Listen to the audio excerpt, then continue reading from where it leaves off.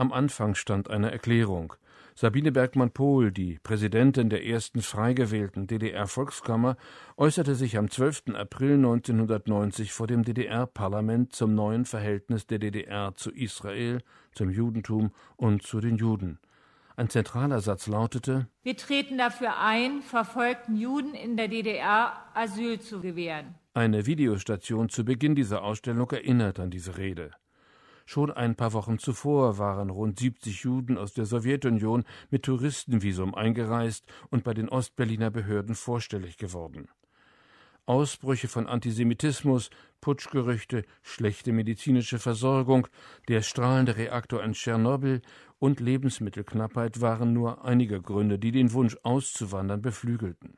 Jutta Fleckenstein, eine der beiden Kuratorinnen der Ausstellung. Nach dem Fall des Eisernen Vorhangs wandern ja sehr viele aus der ehemaligen Sowjetunion aus, Juden wie Nichtjuden. Unter den Juden entscheidet sich ein Großteil für Israel, also mehr als eine Million geht dorthin. Viele entscheiden sich für Amerika und durch die Situation in Deutschland mit der bevorstehenden Wiedervereinigung entsteht plötzlich auch der Blick auf Ostberlin. Also man versucht von dort aus nach Westberlin zu kommen. Und ist damit meist auch erfolgreich. Bis einschließlich 2004 kamen rund 200.000 nach Deutschland. Die meisten wussten nicht, was sie erwartete. Deutschland hatte bei ihnen ein Image, das gleichermaßen mit seiner wirtschaftlichen Kraft wie mit seinen Gräueltaten zur Nazizeit und seinen Schriftstellern verbunden war.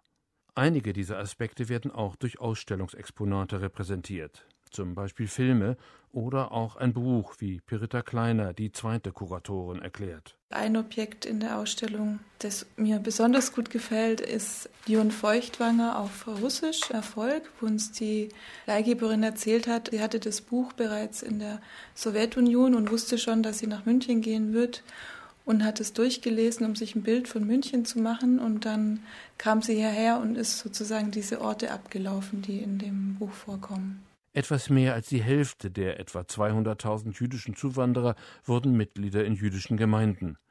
Jutta Fleckenstein. Viele der Zuwanderer haben in Deutschland das Judentum erst kennengelernt. Sie sind eingereist, vielleicht schon mit einem Gebetbuch in der Tasche, das man vom Großvater geerbt hat oder einem anderen Ritualgegenstand, aber man hat dann hier sich erst damit auseinandergesetzt. Mehrere Videodokumentationen vermitteln einen Einblick, wie diese ersten Jahre in Deutschland erinnert und erlebt wurden.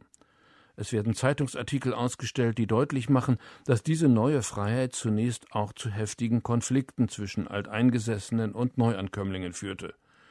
Doch die Neuen hatten durchaus auch traditionelle Bindungen an ihr Judentum.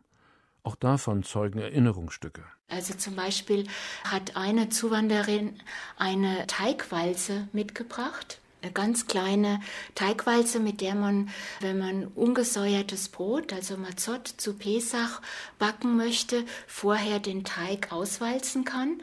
Und sie hat sie von ihrem Vater geschnitzt bekommen, weil man in der Region, wo sie ihre Kindheit verbracht hat, eben keine Mazot aus Israel oder woher auch immer bekommen konnte und die selbst backen musste, wenn man Pesach feiern wollte.